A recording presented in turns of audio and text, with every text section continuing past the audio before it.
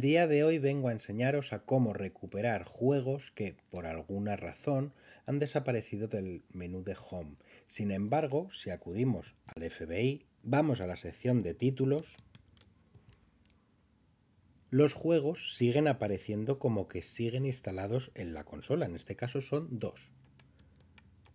Y están en color verde. Para poder lograr la solución, en esta ocasión vamos a utilizar faketic.cia. Este archivo, si vais al repositorio oficial, solamente está en .3dsx. Me he tomado la molestia de convertir ese .3dsx en .cia.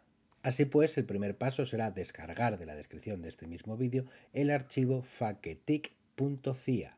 Una vez hayamos descargado el archivo .cia, lo que tendremos que hacer es introducirlo en la carpeta de CIAS. Esta debe de estar en nuestra tarjeta SD. Una vez haya finalizado la transferencia de los archivos, acudiremos a la consola, iremos al FBI e instalaremos faketic.cia. De nuevo en la consola y con los archivos dentro de la tarjeta SD, hemos abierto el FBI y tendremos que acudir a la opción tarjeta SD. Aquí iremos al directorio CIAS e instalaremos faketic.cia.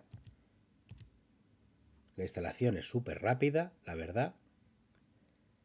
Y una vez salgamos al menú de Home, se nos notifica que un nuevo programa ha sido añadido. Una vez hayamos instalado el Faketic, simplemente tendremos que abrirlo. En la pantalla superior nos fijaremos de que el propio programa ha ido identificando todos y cada uno de los programas que el menú de Home no identificaba.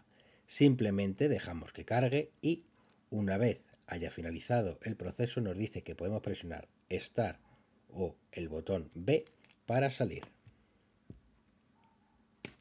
Y mágicamente tenemos los dos regalos el NTR, que se me había desaparecido, y este juego de aquí. No obstante, estos juegos siguen siendo funcionales. Voy a intentar abrir el NTR y ahí se carga